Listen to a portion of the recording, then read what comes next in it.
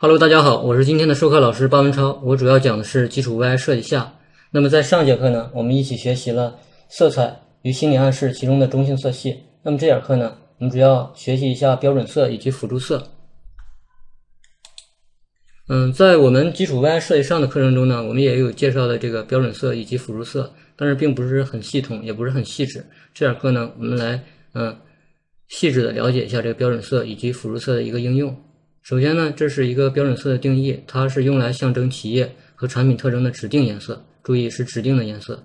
就是说你在接到甲方的这个嗯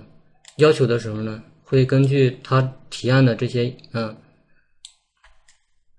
提案的这些文案呢，然后和一些它的嗯相关的一些要求，以及它这个产品，然后去进行一个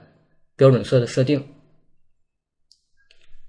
他也在说，是标志啊，标准字体在各种嗯宣传媒体中的专用色彩，专用的色彩。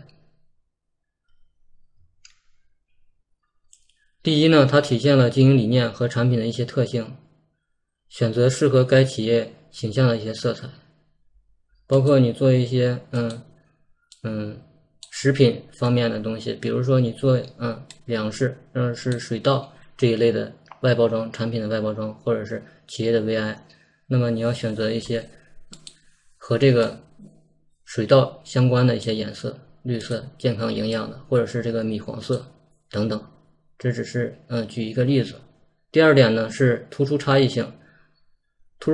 突出的这个差异性呢有这个同行内之间的一个区分，也有这个不同行业之间的一个区分。不同不同行业的区分，比如你这个建筑业和你这个纺织业。它们之间存在着一种嗯怎样的一个差异性？从这个颜色上进行一个区分，因为颜色嘛，我们都知道它是有一定的标签的，有一定的象征意义的，给人们造成这个心理暗示，然后这种感觉也不同。所以呢，你在这儿就是即使是你不同行业间，它所颜色所代替的一种含义也是不同的。那么你在应用的时候呢，也会考虑到这点。那相同的行业之间呢，就更需要突出这种差异性了。同一色相，比如说同一色相，绿色都属于绿色，深绿、浅绿，同同一色相都属于绿色。但是我所代表的行业，虽然我是在一个都是做这个甲，嗯，举个例子，都是做水稻的，我都想采用这个绿色，因为健康嘛，绿色，环保健康。那么我在做这个款产品的时候，我为了区区分于他家的这个产品，那我可能会采用这个深绿色，或者说这个嗯浅绿色，或者是墨绿色等等，这是相同行业之间的一种。区分，嗯，企业之间的竞争需要突出不同企业的个性特点，表示经营理念，嗯，文化传统、产品特点等，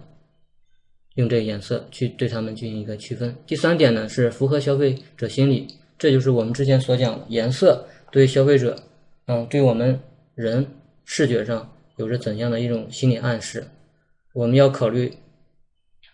你运用的这款颜色，这种颜色。符不符合？首先符不符合你这个嗯常理常规？消费者看上去这个颜色之后，对他们会产生一种什么样的心理？这三点一定要记住，这个是标准色运用的一个要点，三个要点。然后我们接下来看这个标准色的设计类型，它包括以色的表达、双色的表达以及多色的表达，也是三个。嗯，一色表达是指嗯，采用一种固定的色彩作为企业的标准色。一色标准单纯而直接，具有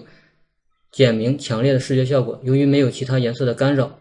或即使有，也不造成较大影响，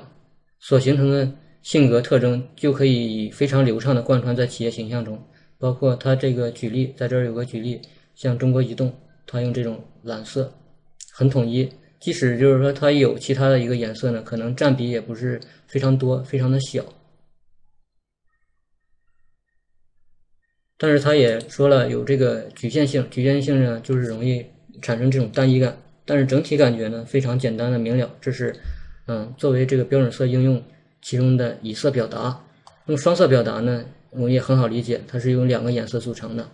解决了单一色彩颜色过于单一的问题。可以在相对简单的条件下创造较为丰富的搭配效果。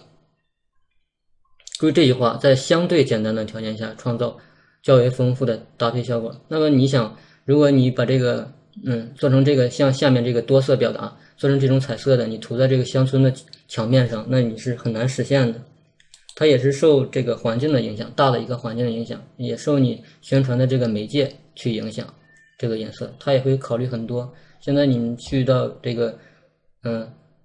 乡下，然后你会观察注意，它墙上写的这些大字，多数还是没有彩色的，还是以这个单色为主，因为受那个它墙面的一些嗯局限性嘛，就影响受影响，单色的多一点。再就是这种双色的，彩色的太少见了。然后在这儿呢，最后一个是，嗯，这个多色表达标多色表达呢，只采用多种固定的彩色作为企业的标准色，有利于不同的企业形成自己独特的个性化的效果。嗯，颜色越多呢，并并不是说你这一个设计你颜色越多它就越好，但是有些产品呢，你确实是很丰富。拿一个简单的例子来说，你做这个彩笔的一个专门做做色彩彩笔的，或者说你做颜料的这样的一个嗯企业公司或者是一款产品。那么你为了凸显你这个颜色的丰富性，那么你肯定在配色上你要多元，你肯定要这个颜色上要丰富一些。但是这个颜色丰富的同时呢，我们也要遵循一些嗯配色的一些原则，包括我们后面要讲的一些内容，就是是这个临近色呀，或者说你这个中差色、对比色、互补色，它们都有哪些的特点。然后等一会儿呢，我们着一的往下看。然后局他在这儿也说了，局限性在多色表达与单色表达一样，属于用色极致的情况。单色容易引发性格单一，那么多色则容易引发这个性格模糊。也就是意思，你颜色也不宜过多，过多的话也会突出不了一个主体。那么想要解决它的方法呢，也是主次分明，突出重点，强调主色。那么你肯定有一款颜色占比要很多，这个是主色。嗯，之前老师也看过一个配色的一个守则，那么你可能你的主色调要占百分之七十五，在你这个画面中，在你的设计中占百分之七十五，那么你的辅助色呢，你可能要占到百分之二十，然后还有一款其他的一些一些的嗯辅助的颜色，或者是嗯。或者是那个，嗯，你可以加一些装饰配色的一些颜色呢，占百分之五这样的一个比例呢，是，嗯，有主次分明，会很舒服。然后这个标准色讲完了之后呢，我们再来看一下这个辅助色。辅助色呢是在这个基础标准色之上，嗯，更加丰富的用色方案，用来满足企业运行过程中的各方面的用色用色需求。利用色彩的差异性区分，嗯，子母公司、部门、品牌、产品的一些分类。辅助色主要用于衬托、表现企业理念和象征意义。企业标准色和辅助色配合使用呢，以增强企业表达多彩活、多彩和活力。辅助色按四色印刷，嗯，CMYK 的模式呢设定一个标准色。不能更好的表达你的这个企业理念和象征的时候呢，才会使用这个辅助色。然后我们也会看到，嗯，下面的这这个图案，在这儿呢，老师引入这个一个新的概念，叫做色调。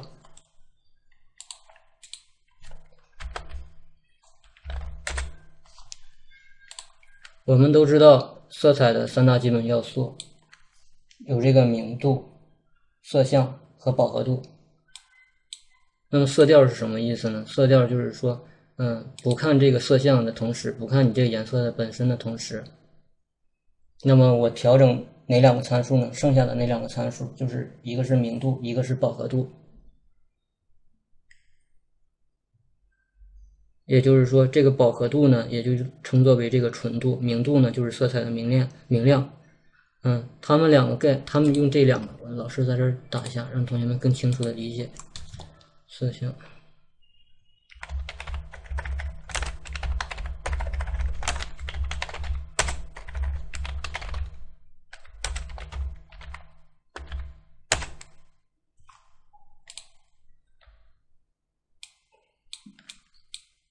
调整这两个参数。综合表现色彩状态的一种概念。这个是色彩状色调呢，它不是指颜色的性质，不是指你红色、黄色、绿色，不是指你颜色的一些性质，它是对这个画面整体颜色的概括。就是说，你这幅画是什么？是是这个，嗯，冷色调偏冷色调呀？会说还是偏暖色调？它是对你画面整体的一个构色进行一个综合的一个嗯评估评定，并不是你单一的某一个颜色，是这样的。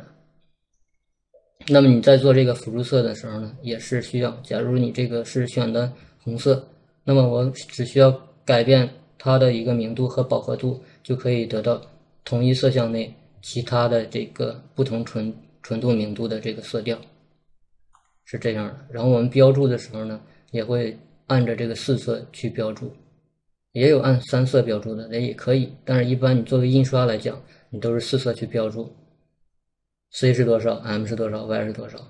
，C 是青色，M 是洋红，Y 呢是黄色，K 为黑色，是这样的。然后在下一节课呢，嗯，我们会老师会带大家学习一下这个色彩组合的专用表，嗯，其中呢我会给大家详细的讲解，嗯，是这个近似色呀，还是邻近色？像这个中差色，像互补色，我们都知道这个对比，嗯，一百八十度啊，这样是为一个互补色。那什么是这个对比色和中差色，或者是这个邻近色呢？在我们下节课的课程中呢，老师会详细的给大家讲解。那么这节课呢，就先上到这里，嗯，谢谢同学们的收听，我们下节课再见。